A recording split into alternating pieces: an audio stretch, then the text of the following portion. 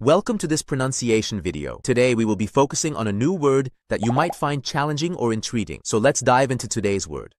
Completa, which means Completa is not an English word. In Spanish, it means complete or full. Let's say it all together. Completa. Completa. Completa. One more time. Completa. Completa. Completa.